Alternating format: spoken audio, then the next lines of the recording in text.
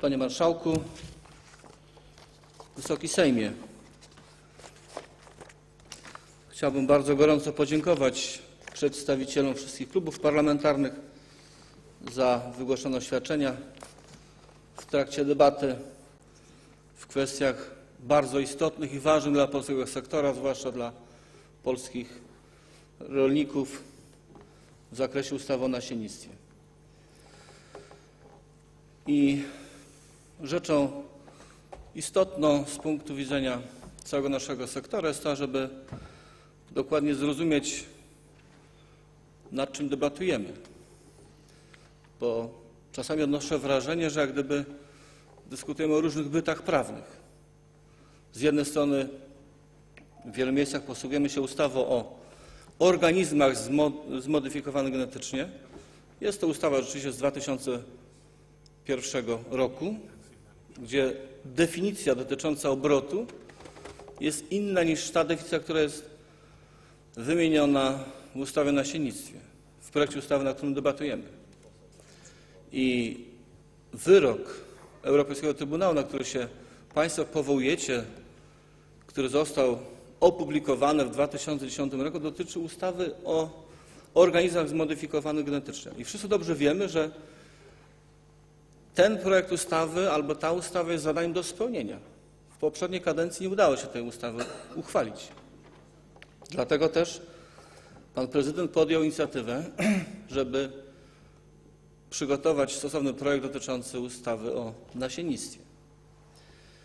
I gdyby rzeczywiście wrócić do meritum, to chciałbym stwierdzić tak. Co jest na dzisiaj w obowiązujących przepisach ustawy o nasiennictwie? Otóż po pierwsze mamy zakaz rejestracji, odmian i obrotu na terenie Rzeczypospolitej. Ale to nic nie daje, to, że jest zakaz. Dlatego, że w przypadku rejestracji można zarejestrować konkretne odmiany w innym państwie członkowskim i poprzez wspólnotowy katalog odmiana może trafić na teren Rzeczypospolitej Polskiej. Tak jest stan prawny dzisiaj, jeżeli chodzi o rejestrację. I po drugie, jeżeli chodzi o zakaz obrotu, on istnieje, ale przedsiębiorcy nie mogą prowadzić działalności gospodarczej związanej z obrotem materiału siewnego, ale w praktyce oznacza to na dzisiaj, że zainteresowany wysiewem może pojechać do innego państwa członkowskiego i dokonać zakupu i obsiać konkretne areały materiałem siewnym. A rozwiązania, które są zaproponowane w projekcie prezydenta, nad którymi debatowaliśmy, zmieniają tę sytuację diametralnie. Po pierwsze, wprowadzamy zakaz stosowania materiału siewnego roślin zmodyfikowanych genetycznie w zakresie dwóch rozporządzeń, które dotyczą upraw kukurydzy MON 810 i drugi projekt rozporządzenia Rady Ministrów dotyczący zakazu uprawy ziemniaka flora. I po drugie, by te rozwiązania były kompletne, projekt e, ustawy, nad którym dziś debatujemy, wprowadza uprawnienia dla Państwowej Inspekcji Ochrony Roślin i Nasiennictwa w zakresie kontroli stosowania odmian zmodyfikowanych genetycznie. Jest artykuł 127 y, naszego projektu ustawy. I również zastosowano sankcje karne dla wszystkich tych, którzy będą działać w sposób sprzeczny z prawem. Dotyczy to kar pieniężnych i także obowiązkiem zniszczenia plantacji GMO na koszt zainteresowanego. Mówię o tym Pani Przewodnicząca sprawozda- sprawozdawczyni. A więc taka jest różnica pomiędzy tymi wszystkimi kwestiami, o których dzisiaj dyskutujemy. Warto o tym pamiętać. I te rozwiązania przybliżają nas do tego, że będziemy mieli określony porządek prawny w państwie, który będzie po pierwsze z jednej strony dopuszczał możliwość rejestracji obrotu, ale z drugiej strony zakaz stosowania. Pan prezydent oczekuje także od rządu, aby rząd przygotował kompleksową ustawę o GMO. I te prace wspólnie z Ministerstwem Środowiska będą podjęte. Natomiast chciałbym też zwrócić uwagę na kilka istotnych jeszcze kwestii, które były przedmiotem debaty i pytań. Po pierwsze, wiele z pytań dotyczyło, dlaczego inne państwa nie zapłaciły kary.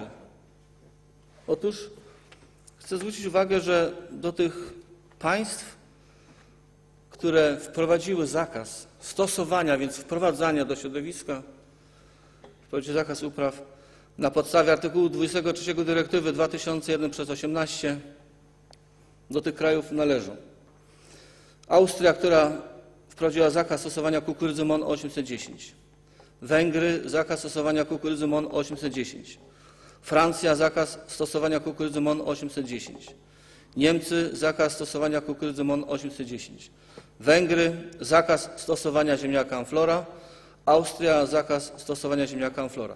To są fakty. I do tego grona państw dołączy Polska. Mało tego,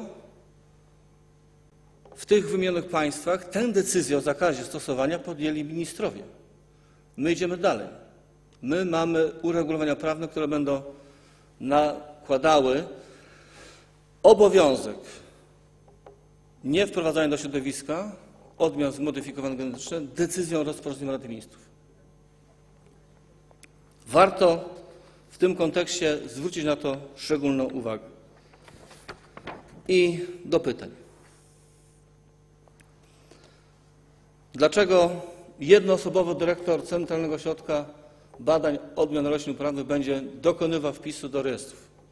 Otóż informuję, że w artykule 16 analizowanej ustawy będzie ta decyzja poprzedzona informacją publiczną. Każdy będzie mógł się z propozycją zapoznać, czy za pomocą drogi internetowej. I po drugie też zwracam uwagę, że na podstawie ustawy o coboru dyrektor może powołać zespół do opiniowania i konsultowania wszystkich kwestii związanych z rejestracją odmian. I przypomnę, że na dzisiaj w Europie w katalogach są dwie odmiany roślin zmodyfikowanych genetycznie. Kukurydza Mono 810 cytowane i ziemniak Amflora. I o tych dwóch odmianach tylko mówimy. Natomiast y, minister rolnictwa Marek Sawicki wielokrotnie w tej sprawie się też wypowiada, że chodzi o sprawy związane z GMO i zakazem stosowania odmian roślin zmodyfikowanych genetycznie. Proszę? Ale były. Był minister rolnictwa Marek Sawicki. Rozpoczął i zainteresował w czasie naszej prezydencji państwa członkowskie, żeby rozpocząć ogólnoeuropejską debatę na ten temat. Były stosowne rozmowy z ministrem Francji ten, w tej kwestii, natomiast, tak stwierdziłem w czasie posiedzenia e, komisji, w zasadzie rok 2012 dla tej inicjatywy należy uznać za nieudany, ponieważ rzeczywiście w tej sprawie niewiele się wydarzyło z różnych powodów.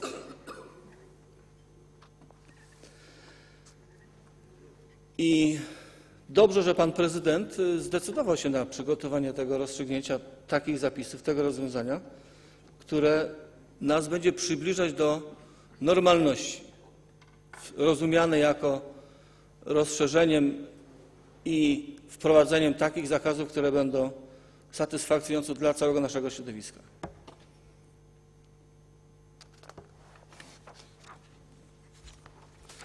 Chcę też oświadczyć sposób jasny, że rząd nie prowadził żadnych rozmów z żadnymi korporacjami międzynarodowymi w sprawie GMO. Takich rozmów nie było i chciałbym, żeby ta informacja była informacją powszechną i wypowiedziana w sposób zdecydowany.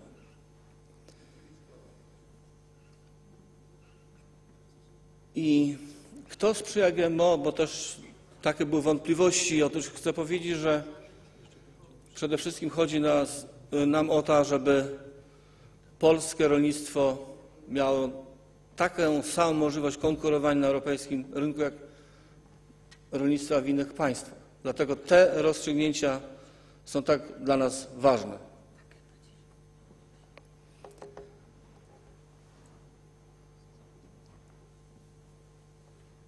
Jeżeli chodzi o kwestie, które zmierzają do określenia kar, bo o tym też wielokrotnie mówiono, ja nie wypowiadałem się ani na posiedzeniu podkomisji, ani komisji rolnictwa, strasząc posłów o karach. To nie są moje wypowiedzi. Ja tylko tyle mogę stwierdzić, że kwestia kar jest opisana w stanowisku rządu. Jest cały cytat w stanowisku rządu, jakie rzeczywiście kary mogą być naliczone Polsce w przypadku złożenia wniosku przez Komisję Europejską do Europejskiego e, Trybunału. I w przypadku, gdyby ewentualnie tak się mogło zdarzyć, to oczywiście pomoc finansowa z budżetu Unii Europejskiej jest pomniejszona o te kary, które ewentualnie mogą być naliczone Polsce. Tak jest mechanizm, nie ma innego. A 300 miliardów złotych to jest, y, panie pośle, kwestia dotycząca Funduszu Spójności. Ona nie ma tutaj jak gdyby żadnego związku w tym momencie. Co do rolnictwa ekologicznego. Na dzisiaj rzeczywiście ponad 20 tysięcy gospodarstw, ale to jest niecałe 2% ogółu gospodarstw w Polsce, które zajmują się działalnością ekologiczną. To o wiele za mało. Natomiast e, idealnie byłoby, gdyby ten wskaźnik miał przyrost kilkuprocentowy w ciągu roku, ale wiemy, że to jest proces, który się tak szybko nie zakończy. A dlatego o tym mówimy, ponieważ to wymaga także specyficznych działalności i także wsparcia nie tylko z budżetu unijnego, a także z budżetu krajowego. I czy ministerstwo bierze pod uwagę opinię środowisk, organizacji po, pozarządowych, które z wielką troską podchodzą do kwestii ochrony środowiska? Zinformuję, że tak, rząd bierze pod uwagę te wszystkie stanowiska. Przykładem najlepszym jest to, że zostały przygotowane stosowne projekty ograniczające stosowanie od, odmian GMO do środowiska.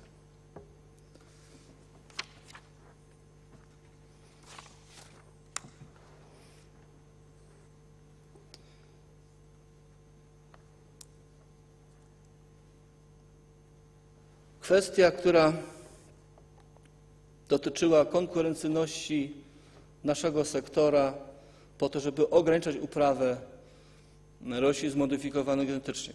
Jakie są propozycje? Otóż y, propozycja jest realizowana od kilku lat. To jest program białkowy, a więc y, uprawy roślin motylkowych, strączkowych czy drobnonasiennych, motylkowatych. Na dzisiaj jest to powierzchnia około 220 tysięcy hektarów. Ona rzeczywiście w ostatnich latach się zwiększyła, dlatego że udało się z programu rozwoju obszarów wiejskich wygospodarować dodatkowe pieniądze na dopłaty.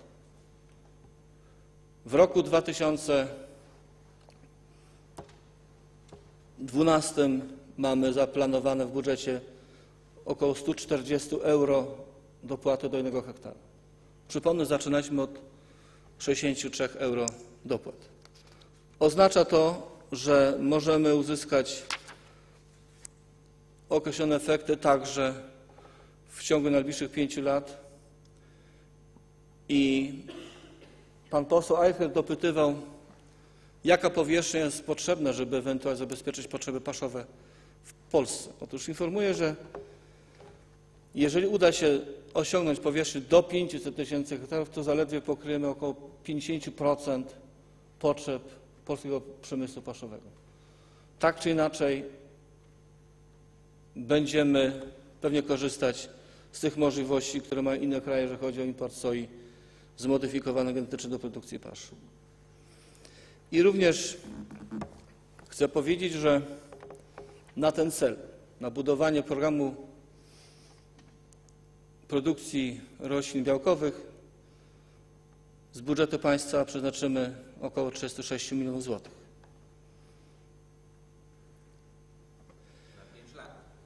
Na 5 lat. Z budżetu krajowego. Natomiast y, Pytanie też było, czy dzisiaj można uprawiać kukurydzę MON 810 w Polsce? Tak. Nielegalnie, ale można. Takie pyta, pytanie było, więc mówię, rzeczywiście, jeżeli ktoś taką decyzję podejmie, to może uprawiać. ale jest to poza kontrolą. Nie może. No jak zabijać nie można. O, pytał jeden z posłów, odpowiadam.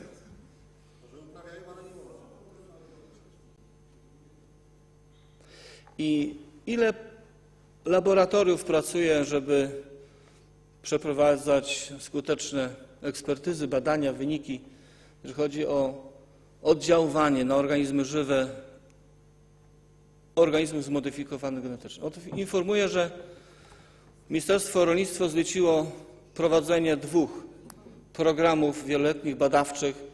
Prowadzi je Instytut Zootechniki w Balicach i, i Instytut Weterynarii w Puławach, gdzie publikacja wyników badań po dwóch latach była w czasie konferencji, która się odbyła w Sejmie w ubiegłym roku i na wiosnę tego roku.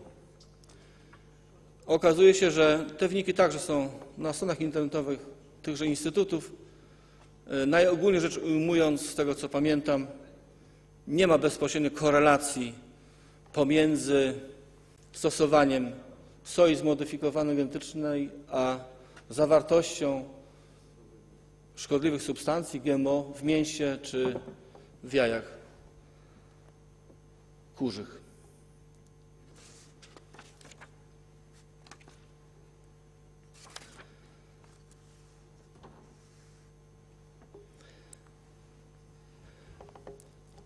Inne pytanie, czy po wejściu w życie ustawy będzie można uprawiać GMO? Nie będzie można.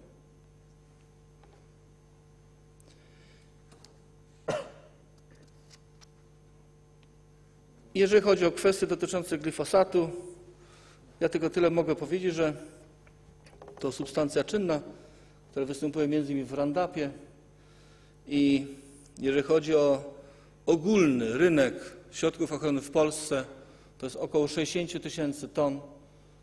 Wartość tego rynku ponad 2 miliardy złotych. Natomiast jeżeli chodzi o szczegóły glifosatu, na dzisiaj nie jestem w stanie na to pytanie precyzyjnie odpowiedzieć. Odpowiem na piśmie.